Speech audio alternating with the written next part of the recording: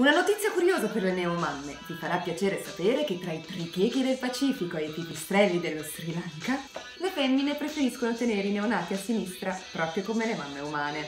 Emisfero destro, processi cognitivi, insomma, troppa roba. Vi basti sapere che alla fine noi, come loro, siamo dei mammiferi. Detto questo, oggi sono nel mood Just Like Animals. E voi in che mood siete? Ora torniamo alla grande musica con Animals dei Maroon 5. Buon in the mood a tutti.